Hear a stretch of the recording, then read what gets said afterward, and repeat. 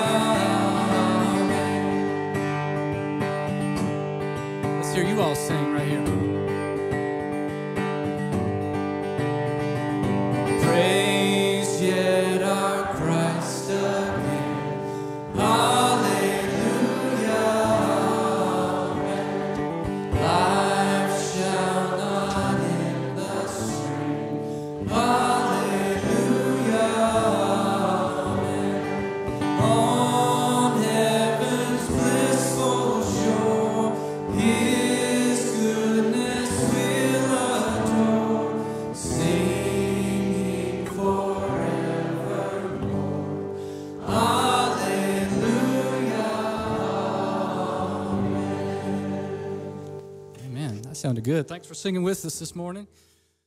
Uh, we're going to be in Hebrews chapter 2. I'm going to ask if you would. Uh, we'll read that text in just a moment. Let me ask you a question. Have you ever had a situation where you were supposed to meet somebody and that person made you wait? Uh, that a lot of times that happens to illustrate or make clear a power dynamic, right? Where the person who has more authority and power in the particular situation makes someone else wait on them. I remember that taking place when I was a college student. Uh, we would uh, be at North Greenville University getting ready to go to class or being in class, and we'd sit in class on time, right? We were on time, sitting down in there, and professor wasn't there. And our kind of subtle rule as students was to give any professor 10 minutes and to give a professor with a doctorate 15. That was kind of our rule. Uh, but anyway, we understand that that happens when meetings take place. I just want to remind you that God is not sitting in a heavenly boardroom waiting on us to come to Him. God initiated the meeting with people. He stepped out of where he was and came to where we were. And Hebrews 2 is all about that. It's about the idea that God came down in human flesh to meet with people like you and like me. God meets us at Christmas. Let's read this text of Scripture. Hebrews 2, beginning in verse 1. Therefore, we must pay closer attention to what we have heard, lest we drift away from it. For since the message declared by angels, proved to be reliable, and every transgression or disobedience received a just retribution, how shall we escape if we neglect so great a salvation? It was declared at first by the Lord and was attested to us by those who heard, while God also bore witness by signs and wonders and various miracles and by gifts of the Holy Spirit distributed according to his will. Now it was not to angels that God subjected the world to come, of which we are speaking It has been testified somewhere, that somewhere, by the way, is Psalm 8, if you want to read the whole text later. What is man that you are mindful of him, or the Son of Man that you care for him? You made him a little lower than the angels. You have crowned him with glory and honor, putting everything in subjection under his feet. Now, in putting everything in subjection to him, he left nothing outside of his control. At present, we do not yet see everything in subjection to him, but we see him who for a little while was made lower than the angels, namely Jesus, crowned with glory and honor because of the suffering of death, so that by the grace of God he might taste death for everyone. For it was fitting that he, for whom and by whom all things exist, in bringing many sons to glory, should make the founder of their salvation perfect through suffering. For he who sanctifies and those who are sanctified have one origin.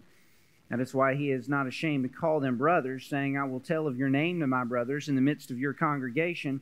I will sing your praise. And again, I will put my trust in him. And again, behold, I and the children God has given me. Since therefore the children share in flesh and blood, he himself likewise partook of the same things, that through death he might destroy the one who has the power of death that is, the devil, and deliver all those who through fear of death were subject to a lifelong slavery. For surely it is not angels, to angels that he helps, but he helps the offspring of Abraham. Therefore he had to be made like his brothers in every respect, so that he might become a merciful and faithful high priest in the service of God to make propitiation for the sins of the people. For because he himself has suffered when tempted, he is able to help those who are being tempted. Beautiful text of Scripture. Memory verse comes from this passage of Scripture that helps us understand and make sense of what it means that Jesus came to us at Christmas. He came in flesh and blood, He came as God incarnate in order to bring about salvation. He came uh, for several reasons. First, He meets us with a message of salvation. With a message of salvation. Did you catch verses 1 through 4 there? It said, Pay attention. Pay attention to what you've heard uh, lest we drift away. Now, I'm going to come back in a few weeks, probably after the first of the year, and, and uh, preach a specific message on the falling away passages of the book of Hebrews. There are several warnings, several drifting passages or falling away passages, and we're going to look at them as an entire unit in a few weeks. So I'm not going to deal with this text as deeply as I might otherwise. But in, in this particular instance, what the writer is telling us is to pay attention to what we've heard so that we don't drift away, so that we don't wander away from our faith. And so there's a warning there, and we'll discuss it in brief in a moment, but there's a warning in this passage of Scripture. Nevertheless, what it is, verse 2, we're to pay attention to what? We're to pay attention to the message declared, for the message declared by angels proved to be reliable. In other words, the Old Testament and, that's what the writer did in chapter 1. He acknowledged the Old Testament came through angelic witness. That message is reliable. So the writer of the book of Hebrews is telling us that the Old Testament is reliable. So God inspired word is telling us the God inspired word is reliable. That's an encouragement to our faith. Then he goes on to say, uh, if that message proved reliable and the transgressions against God's law in the Old Testament warrant judgment, how shall we escape if we neglect so great a salvation? In other words, his point is arguing from the, the lesser to the greater. If in the Old Testament God judged those who ignored his word, how much more will God judge those who hear about Christ and ignore Christ? That's why he asks that question. How shall we escape if we neglect so great a salvation? In verse 4, or the latter part of verse 3, it was declared to us first by the Lord do you realize that the first one to declare the message of salvation, the full message of salvation, was Jesus himself? Jesus came to meet us first and foremost with a message of salvation. Now, that should be tremendously encouraging because at Christmas we think about Jesus coming as God incarnate. We think about Jesus coming as a baby, being laid in a manger. We reflect on those sentimental moments, those gloriously wonderful moments when the shepherds came, like we sang about earlier. When the angels announced Jesus' entry into the world, like we sang about. We think about the wise men. We think about Jesus' life and ministry. And if you're anything like me as a Christian, you've wondered over the years, what would it have been like to have been there? when Jesus walked on water, or when he raised Jairus' daughter, or cast demons out of the demoniac, or any number of the miracle stories. And if we're not careful, what we might do is wonder, man, wouldn't my faith be stronger if I were there meeting Jesus in person? I just want you to know we're to pay attention to the message declared by the Lord. Listen, salvation comes through meeting Jesus. Jesus fills us with His Holy Spirit, convicts us. We can meet Him personally. But we do not have to be in the very physical presence of Jesus 2,000 years ago in order to know salvation. That's encouraging, folks, because we don't have to transport ourselves back in the past in order to meet the God who is in the present with us. It was declared by the Lord. It's a message that He gave us the gospel of the kingdom. Repent, for the kingdom of heaven is at hand. It was also attested by those who heard, meaning the apostles heard it, they proclaimed it, and the writer of the book of Hebrews is one of those. God also bore witness to the word that He spoke through Jesus in particular. How? In verse 4, by signs and wonders and various miracles and gifts by the Holy Spirit distributed according to His will. And so, what are we to do? Christian, we're to pay attention. We're to pay attention. You know, the best way not to fall away is to pay attention to what God has already said. The most important thing that we can do as followers of Jesus is to pay careful and close attention to the scripture that He's given us. Because drift, drifting away, folks, is a dangerous reality and possibility. I've watched it happen in people's lives. And it's not like they wake up one morning, some do, but most don't do this wake up one morning and say, I'm going to reject Christianity. I hate everything I heard for 50 years of my life, and I'm just done with it, and I'm walking away. That's not what happens most of the time. You know what happens most of the time? Somebody wakes up one Sunday morning and they say, I'm a little tired today. I don't think I'm going to go to church. And it's easier not to go the next week because they didn't go this past week. And then it's easier not to go after that. And then, and then pretty soon, because they're, they're not attending church and hearing the encouraged community of God's people sing and pray and praise and worship together. They stop reading the Bible and then they stop reading the Bible, and maybe a son or a daughter or a friend tells them about this newfangled idea, or really it's not a new idea, it's an old idea to, to show deception or show or to claim that somehow the Bible is not true. And so they start hearing that and le- reading a little bit here and reading a little bit there. And then they wonder, was it ever real what I had? Did it, did it ever really matter? And, and pretty soon, after a couple of years of not being around God's people and not being in God's Word and hearing alternative ideas, they wake up one morning and they're not a Christian by any measure of what the Bible says a follower of Christ is to be in relation to bearing fruit. Got to be aware the drifting away is a dangerous possibility. Let me read two quotes, and then we'll move on to the next point. Thomas Schreiner, in his commentary on the book of Hebrews, puts it this way The New Testament nowhere teaches that an initial acceptance of the saving message is sufficient without perseverance and faith. Apostasy would constitute a rejection of a clear word from God. No one can make the excuse that revelation was not sufficiently certified so that doubts were permissible. Uh, another commentator remarks warnings are not designed to rob people of hope, but to steer them away from danger in order to preserve them so they might persevere and inherit what has been promised. Jesus came with a message of salvation that's supposed to keep us on the right path.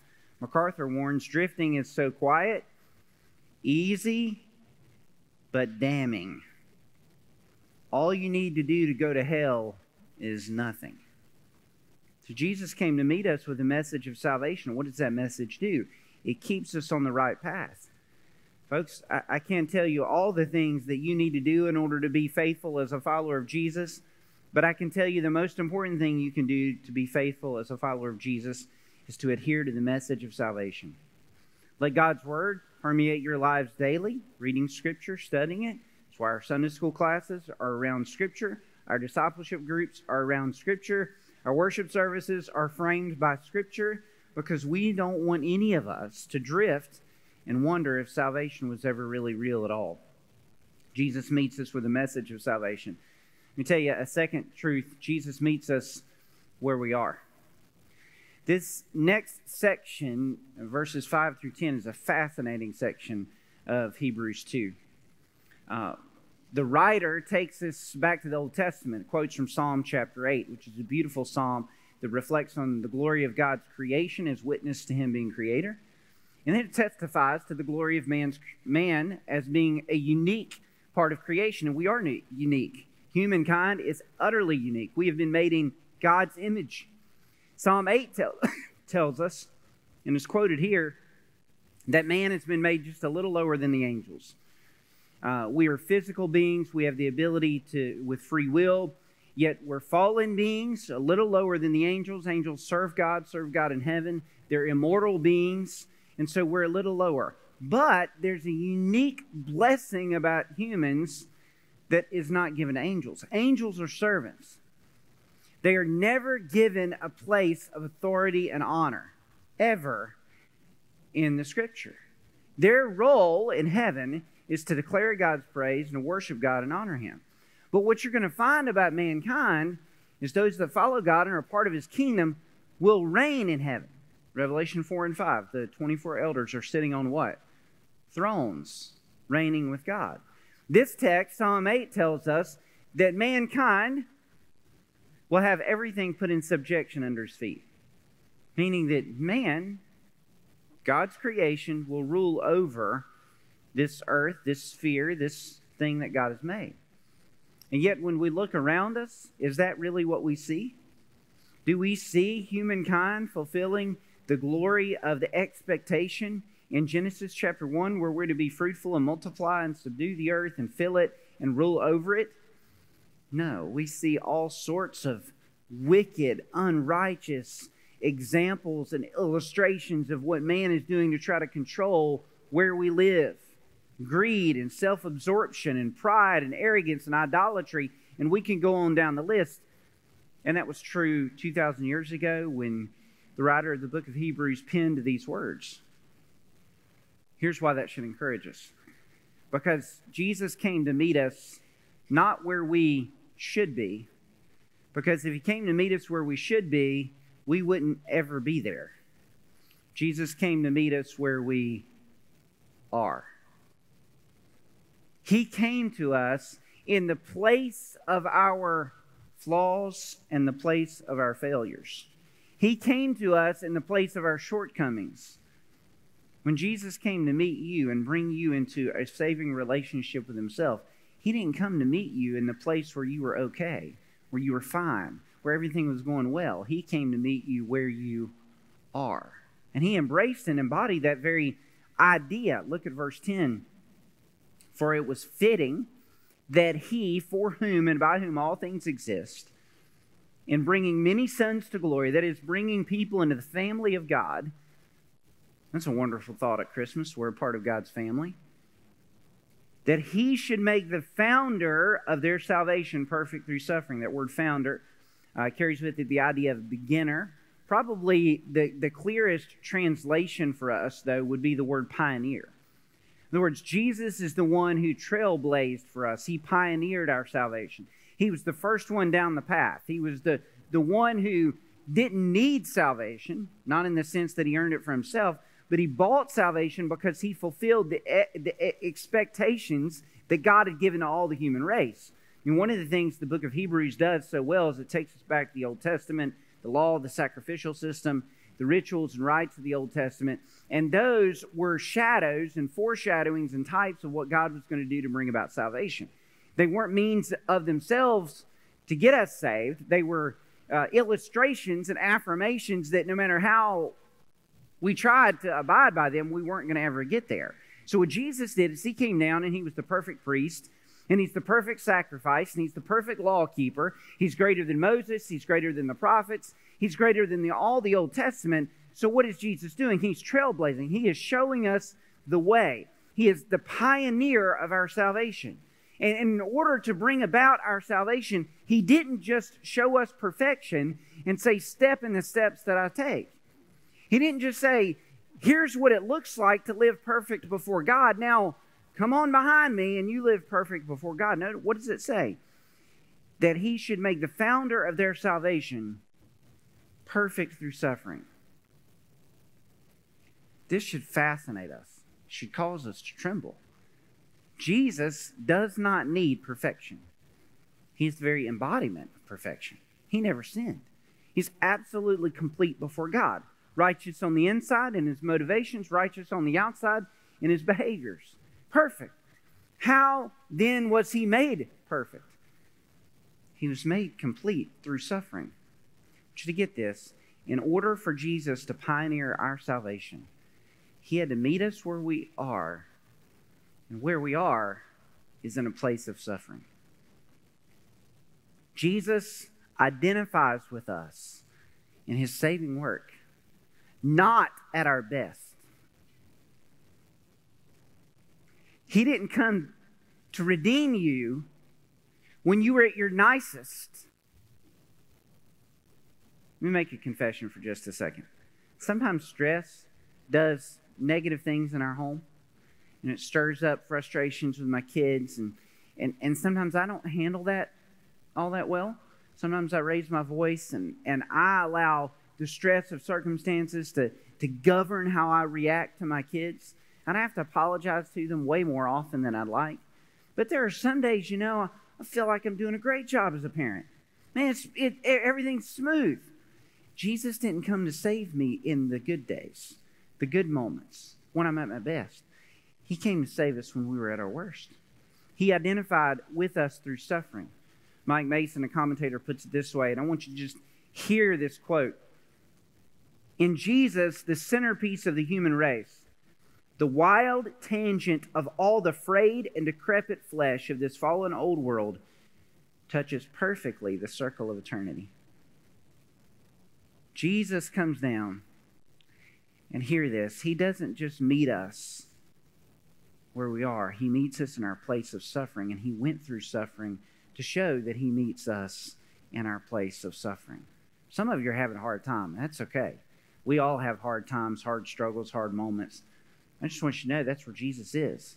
That's where He came. He came to meet us in those moments and situations because He faced them as well. He came to meet us where we are. Jesus came to meet us with a message of salvation that should encourage all of us because anyone can hear the message of salvation.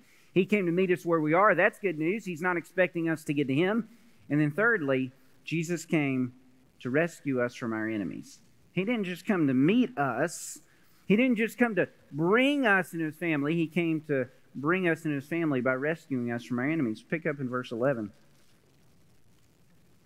For he who sanctifies and those who sanctified all have one origin. That's why he's not ashamed to call them brothers. And then he says, I will tell of your name in the midst of your congregation. I'll sing your praise. This morning in my devotions, I read Zephaniah 3 which is that text I referenced a few weeks back where God sings.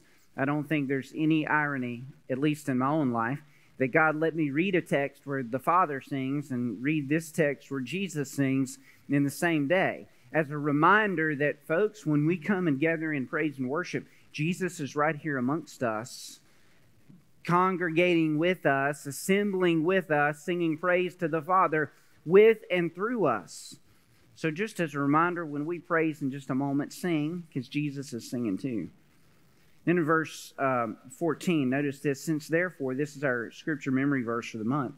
Since therefore the children share in flesh and blood, that's us. We share in flesh and blood. The word share there is the Greek word koinonia. It's fellowship. You and I are flesh and blood. This is what we share, and this is part of who we are. We're frail. We're mortal. We suffer. Since we share in flesh and blood, he himself likewise partook. Now, partook is not the same as koinonia. Uh, uh, koinonia is that that's a part of who we are.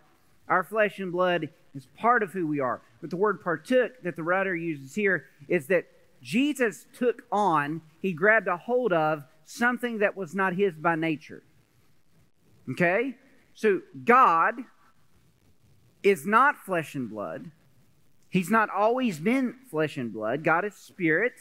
And in eternity past, Jesus was not flesh and blood. So, what Jesus did, in order to bring about our salvation, he took a hold of what was not his by nature and made it his nature in order to bring about salvation. He chose, in other words, flesh and blood. He chose difficulty and suffering and sadness and challenge and, and limitations and pain He chose all of that. Why? So that through death, Jesus came, shared in flesh and blood, that's the incarnation, so that he might partake of our flesh, so that he might die, in order that he might defeat death. That's a beautiful affirmation, folks. So we think about Christmas, we think about life. Baby being born. Life. It's a beautiful, beautiful, glorious thing. We don't often think about death, but Jesus didn't come to live. Jesus didn't come to do miracles. He didn't just come to teach lessons and preach sermons. He didn't just come to walk on water, heal the sick, and raise those who were lame. Jesus came to die. Because our greatest enemy is death. Notice what he says there to destroy the one who has the power of death, that is the devil. So we have some several enemies, and I'm not going to go into the detail of talking about all of them. The devil's one of them. He hates you and he hates me. And one of the reasons we need to be in God's Word is the devil just wants us to drift. The devil wins when we drift away from God. The devil wins when we walk away from God. The devil wins when we allow sin into our lives. The devil wins when we allow the fear of today and tomorrow and the fear of death to control us. Jesus came to destroy him. He doesn't have power anymore. He's going to be defeated ultimately. That's what the book of Revelation tells us to des- destroy the one who has the power of death, verse 15, and deliver, that's us, all those who through the fear of death were subject to a lifelong slavery. I don't want to die. I don't think any of you do as well. We're not in a hurry for that. Many of us, though, have been touched by death loved ones, friends, family members, moms, dads, husbands, wives, been touched by death. But we don't have to be afraid of death because Jesus already walked that path. Jesus already experienced that event. We don't have to be afraid. Christian, one of the most glorious truths about Christmas is that because Jesus came in human flesh and suffered in human flesh and died in human flesh and then rose again in a glorified, wonderful estate, you and I don't have to be afraid of death. We don't have to be afraid of what our loved one went through. Certainly, the experiences that take us there the pain, the suffering, the illness, the disease, the tragedy, the catastrophe all of that, none of that is to be longed for. But Jesus came to take away the fear of it. Folks, you and I don't have to suffer with death, with the fear of death, because Jesus came to defeat it. John Piper puts it this way beautiful statement. He said, So we are free from the fear of death. God has justified us. Satan cannot overturn the decree. And God means for our ultimate safety to have an immediate effect on our lives. He means for the happy ending to take away the slavery and fear of the now. If we do not need to fear our last and greatest enemy, death, then we do not need to fear anything. We can be free, free for joy, free for others. What a great Christmas present from God to us and from us to the world. We don't have to be afraid. We don't have to let those hovering or undercurrent of fears that so paralyze us. We don't have to let that rule us. Jesus came to take those fears away. Folks, He came to give us joy, life, everlasting life that we can share with others. Folks, that's a supernatural thing that only God can do through His Holy Spirit. And He did by this. Look at what He continues to say. For surely it's not angels that He helps, He helps us.